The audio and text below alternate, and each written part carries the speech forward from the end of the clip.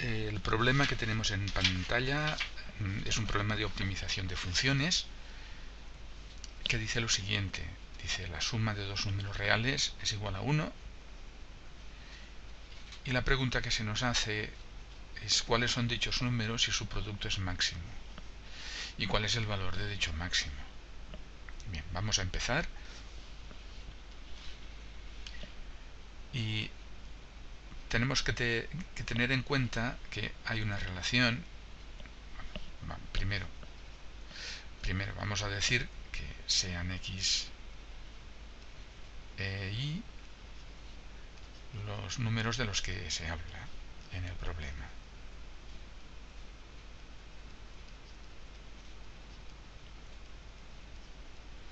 Bueno, entonces hay una relación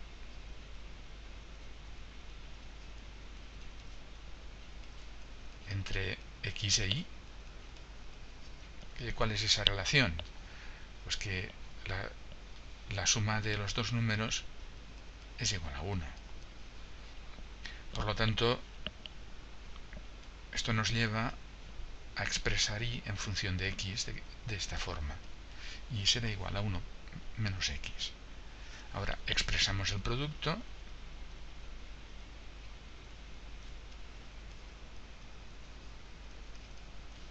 de estos dos números mediante una función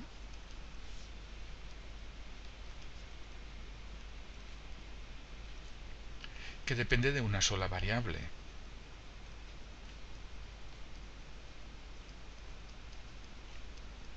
Y esta variable, en este caso, es x. Y la función producto será x por 1 menos x. De esta forma, el problema se reduce a encontrar extremos relativos de esta función. Vamos a encontrar extremos relativos. Los hay porque esta función es cuadrática y sabemos que en toda función cuadrática hay un extremo relativo, uno solo, que es el corresponde al vértice de la parábola. Bueno, entonces la condición necesaria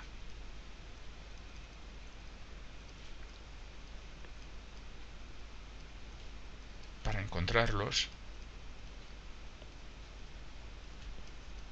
es que f' de x sea cero. Es una condición necesaria para que un para que un, un, valor de x sea extremo relativo de dicha función. Bueno, vamos a derivar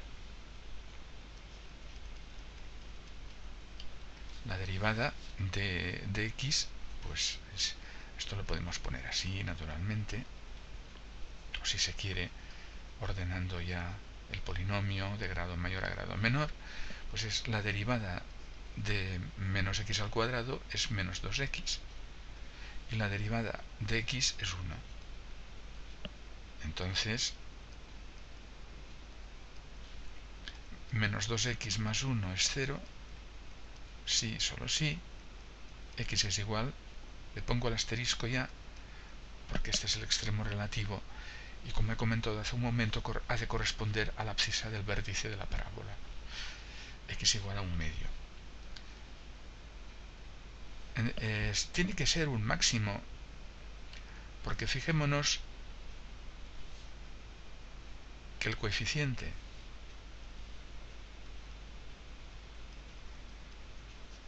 como el coeficiente del término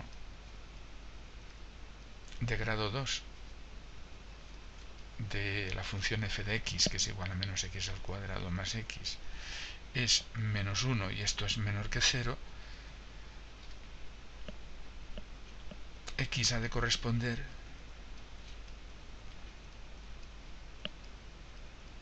a un máximo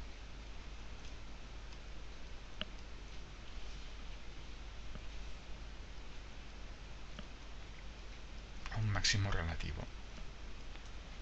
Relativo. Pero es que además y además es el máximo absoluto de la función.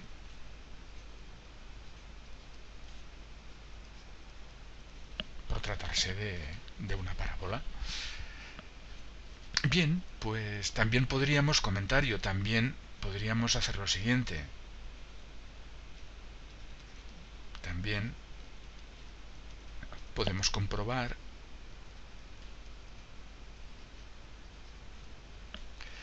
que por el criterio de del signo de la segunda derivada, la segunda derivada es menos 2, que es menor que 0 para todo x perteneciente al dominio de definición de la función, es derivable en todos los puntos por ser un polinomio, y por tanto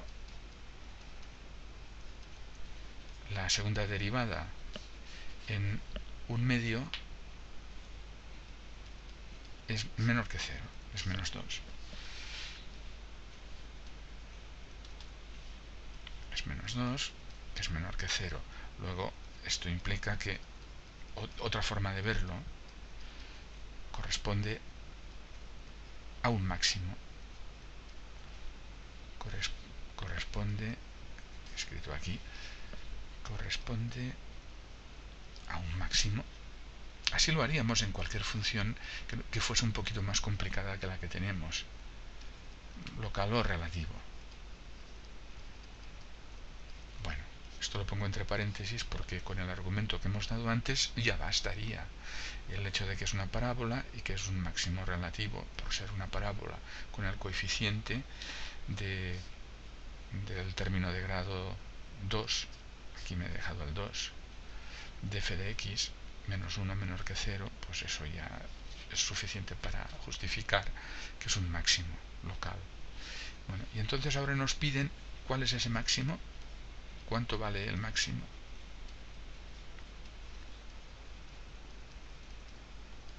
Pues el máximo será f de, em, de x asterisco, que corresponde al máximo es decir, f de un medio. Y la función, la imagen de un medio, pues es un medio por uno menos un medio, evidentemente es un medio por un medio, y esto es igual a un cuarto. Es la segunda pregunta que nos hacían. Y hecho esto ya, aquí damos por terminado este problema de optimización que es bien, bien sencillo porque la función que nos han dado es una parábola y por lo tanto incluso lo podríamos resolver sin utilizar la derivada, simplemente buscando el vértice de la parábola.